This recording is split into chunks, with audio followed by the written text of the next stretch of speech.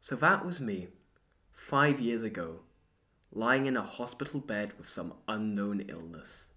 Now, when something like that happens to you, you'd want to know what caused it. Or at least, I do. So, I've spent quite a bit of time reading up on all this stuff. And here's what I found out. For a start, there are two main reasons you can get a fever. The first one is that your body is responding to a bacterial infection, and the other is because of a virus. And don't forget about that one, because I'll come back to it later. That first one, bacterial infection, is quite complicated.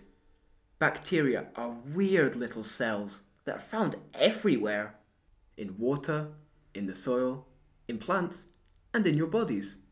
Some of them are good and help with your digestion and stuff, but some bacteria are bad and can cause horrible diseases like plague and cholera and anthrax. Turns out we have something inside us called our immune system that helps to protect us from bad bacteria, and that means the good bacteria can get on with its job of keeping us healthy. I suppose the immune system is a bit like a police force, or maybe a football referee. You see, it's their job to keep the balance inside our bodies between these two kinds of bacteria. But sometimes the bad ones get the upper hand, and that makes you pretty ill. If that happens, the doctor might give you a special type of medicine called an antibiotic. Antibiotics are great for killing bacteria.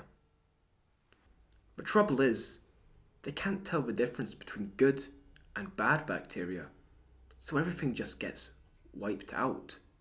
It takes time for the immune system to get the balance right again. It's weird to think that inside all of us there's a fight going on between two rival gangs, and it's up to the immune system to keep us fit and healthy.